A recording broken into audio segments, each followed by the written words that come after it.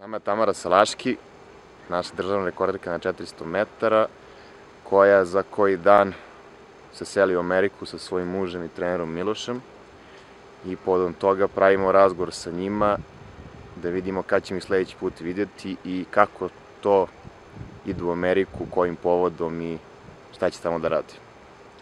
Pa, nakon mog završenog fakulteta smo se mi prvi put prijavili za zelenu kartu. E, međutim, odbijeni smo naravno i onda od tada skoro svake godine apliciramo za, za zelenu kartu. Eto, 2016. na priprema na Kipru sam proverila rezultate, izvučeni smo za to i krenuli smo u u proceduru skupljanja papira i planiranja našeg života tamo. Eto, to se jako brzo sve izdešavalo. Ove godine smo dobili, dobili vize u naše pasoše i tako da za koji dan planiramo odlazak. Idemo u Kaliforniju, vidjet ćemo kako ćemo se snaći tamo, prvih par meseci za poslovi i za sve. Vidjet ćemo kako ćemo i da li ćemo trenirati, verovatno ćemo biti fizički aktivni i spremati se za za takmičenja, ali u ovom trenutku ne mogu baš sa sigurnošću da, da kažem to, jer ćemo videti sve na licu mesta kako će to tamo sve izgledati.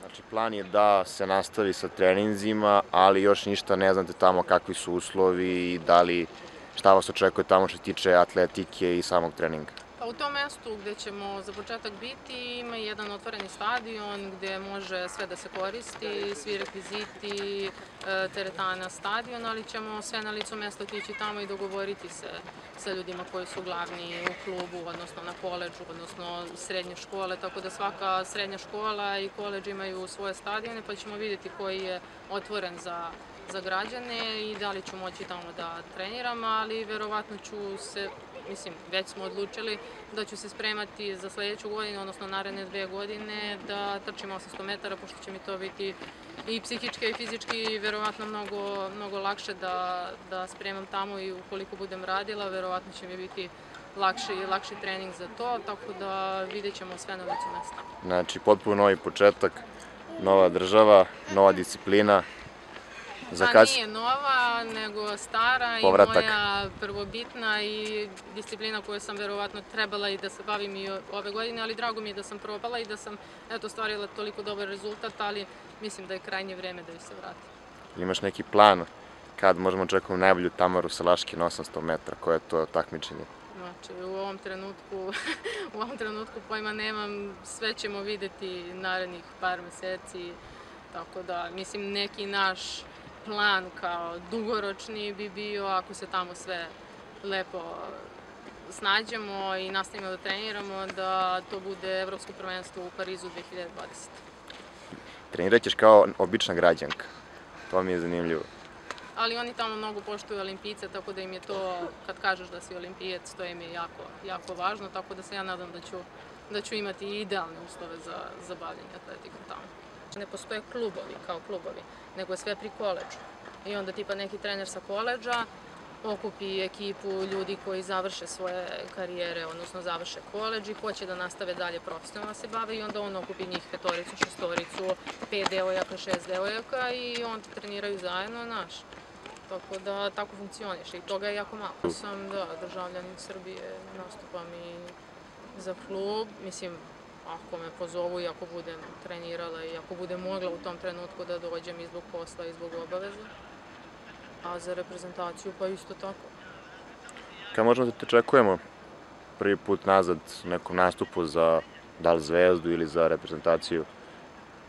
Pa, s obzirom da je kup šampiona u maju, možda Mislim, ništa, se, ništa sada sa sigurnošću ne mogu da kažem. Možda bi mogli u tom terminu da dođemo ili da odemo samo na takmičenje i da se vratimo nazad.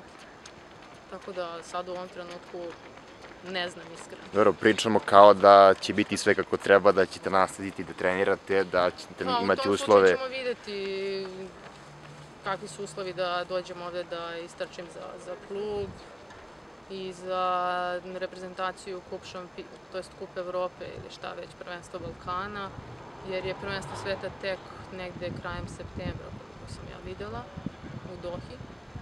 Tako da i za to treba da se ispuni norma na vreme. Tako da... Znači tu će se juriti norma za 800 ili za 400? Pa vidjet će. A reci mi, jeste pričali s nekim iz kluba i saveza vezano za ta takmičenja? Još ne. Znači, bukvalno čekaš da se prvo smestite, Pa, pa da, da... da, stvarno ne mogu da razmišljam baš u ovom trenutku o atletskoj karijeri jer idemo tamo da živimo i da, da se snađemo najbolje što umemo, a pored toga ćemo da vidimo da, da nastavimo i da treniramo. Reci mi sam malo da se vratimo na četiri, Tamaru Salaški, 400 metrašicu, da malo prokomentarišeš prethodne ove sezone, ovu, ovu prošlu, ove sve uspehe, olimpijske, olimpijske igre, svetska prvenstva, evropska prvenstva, kao neko kome se to sve desilo u kratkom vremenskom periodu, to je sve u nekih četiri godine, tako, pet. Da, Kako, da, kako si, evo sad, kad, ajde kažem, pod- podlačiš neku crtu, kako ti se to sve čini, kako gledaš na taj period? Pa, kad sam prešla da, da treniram za 400, nisam očekivala baš da mogu da trčim ispod 52 sekunde. Bilo je da ispunim normu za evropsko prvenstvo u Cirihu, to je malo ljudi verovalo. To je bilo pre, pre šest godina, 2014. pre četiri. Mm, 2014. u Cirihu, međutim, eto, to se desilo u toj trci u Kragujevcu i odatle, mislim, to je bilo prelomno u mojoj karijeri U da nastavim satima. da, da treniram, jer je bilo, uh, udem se i ok, vreme je za decu i prestajem da treniram. Međutim, onda se desi taj Cirih i onda kažeš sebi, ajde da probamo da vidimo dokle će to da ide. I onda 2015. sam potvrdila taj rezultat, međutim 2016. se sve valjda lepo sklopilo, imala sam uslove koje smo obezbedili Miloš i ja i, i uspeli da istračim i tu olimpijsku normu, odem tamo, ali svakako da mi je naj, najvažniji, odnosno najznačajniji uspeh jeste sedmo mesto na prvenstvu Evrope u Amsterdamu. Možda ispričaš ono anegdotu sa aerodroma, koju- kad te prepoznao. A, da, da, Francuz u Parizu. Da, on me prepoznao zbog tog finiša zadnjih, zadnjih 100 metara iz polufinalne trke. Odatle me prepoznao i ništa, morao je da se slika sam. To na aerodromu kad ste išli, Za, na olimpijske igre u Riju. Dešava se. pa Malo čudno, meni je bilo neobično, ali eto, u belom svetu te prepoznao negde ovde u, u okolini i kod nas, pa i ne toliko. nemaš tih problema. Ne. Nekad klinci kad odem kući kod mojih u Valjevo pa dođem na stadion. Kako je to u Valjevu? Znam da je bila i oni plakati tebe i Miloša Teodosića. Pa oni su, mislim, baš su se potrudili stvarno oko toga, bio je veliki billboard u centru grada. To je bilo za olimpijske igre, tako? Da, imali smo prijem, dobili smo i neke nagrade od grada Valjeva i dužinom cele te naše kao magistrale, što je mi zovemo, su bili oblepljeni ti billboardi, tako da je to trajalo, mislim, ti billboardi su se zadržali možda godinu, godinu i po dana, to niko nije dirao, skidao, To tako je da, baš dosta. da, mislim, baš fin gest od njih. Pa jel deca kad stanu te neko gledaju, jel poznata mi ova, Pa ima, ima, da. Pogotovo u Valjevu, jer im trener non stop priča o meni, jer sam mu ja najbolja atletičarka koju je imao i onda non stop priča o meni i non stop su, mislim, svuda su moje slike tamo u klubu, tako da klinci tamo znaju sve kakvi su uslovi tamo u Valjevu? Mislim, ta šljaka, ja sam pokušavala nešto da vidimo za atletsku stazu, međutim ništa od toga. Šljaka je okej, ali nije to Stara. Da. Tako da nije kako treba da bude, ali ne znam da li će se izboriti u nekom trenutku. Međutim, posle tog trenera koji je sada inače star, nema ko da ga nasledi i onda ne znam ko bi pokrenuo priču za, Znači nema trenera, za stadion. dece, Postoji neka priča da postoji neki klub koji su neki ljudi osnovali Valjevu. Ja ne znam, ja sam pokušavala sa drugaricom da ga osnujem, da nešto pokrenemo tamo, međutim ništa nije nam pošlo za rukom to, jer nijedna nije u Valjevu da, da bude tamo i da radi to. Tako da čula sam da postoji još jedan klub, e sad ne znam kako to funkcioniše. fali struke. Da.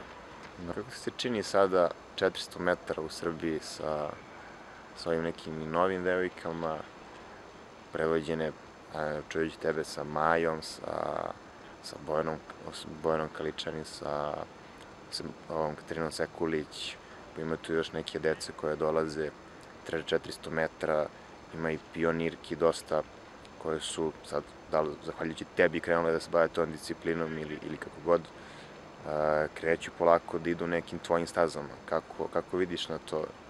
Pa ja ću biti izuzetno srećna ako su te male devojčice pokrenute mojim rezultatima i tome da može da se uspeji na, na disciplini 400 metara e, krenule da, da se bave njome i da postižu dobre rezultate. Naravno treba puno, puno rada, ulaganja u sve to i treba da, da se stvori neko iskustvo, tako da se nadam da će u budućnosti biti dobrih rezultata od strane devojaka koje će trčati narednih sezona 400 metara. A mi sam malo prokomentariši ovu štafetu vašu, kako se zove, i, i to što vam je, ajde kažem, malo falilo za, za normu, za celu štafetu, za evropsko prvenstvo. Kako je izgledala ta štafeta na tom takmičenju i, i da li misliš da ste mogli da imate još jedan takav približen rezultat samo da ste išli na neko takmičenje još? Pa da smo imale još I šta generalno misliš o štafetama, da li treba... Da smo imali još jedno takmičenje, sigurno bi išli tako približan rezultat, s obzirom da je Zoka na tom takmičenju trčala mnogo trka i došla je baš umorna na tu trku i nismo bile nešto motivisane za tu trku u Staroj Zagori, bilo je samo da, ih, da je odradimo bukvalno. E, tako da smo imali još koju trku, verovatno bi ovaj sastav istečao bolje. Međutim, e, problem je u tome što na prvenstvo Evrope ne možemo da odemo naš četiri. Znači treba nam ili šest ili sedam devojaka ili osam devojaka. Ne znam, ja nekako verujem u tu štafetu. Ja bi iskreno volela. Poenta je i uvežbavati štafete, jer sa tim može da se mnogo dobije i nije poente uvežbavati četiri osobe, nego mora pak malo više. Naravno, naravno. Mislim, e, u ostalim evropskim zemljama štafete posebno idu zajedno na pripreme i treniraju za to, rade i svoje treninge, rade i treninge za štafetu, tako da to je totalno neki drugačiji sistem koji ne znam da li će se ikada primeniti u Srbiji. Da li misliš da, da upravo vežbanjem tih štafeta može dođe do još boljih rezultata? Naravno, naravno, to dosta znači. Poljakinje su izvanredne u tome, francuskinje isto, britanke, tako da to se vežba konstantno, ide se zajedno na pripreme, žive zajedno bukvalno, tako da iz toga se rađa dobar rezultat. Znači, dobrim štafetama dolaze i mnogo bolji rezultati pojedinačno. Pa i individualno, da. Da. Ništa, eto, to je, to je bila Tamara Salaški. Da je pozdravimo, da poželimo srećan put i nadamo se da se vidimo u skorijem vremenu.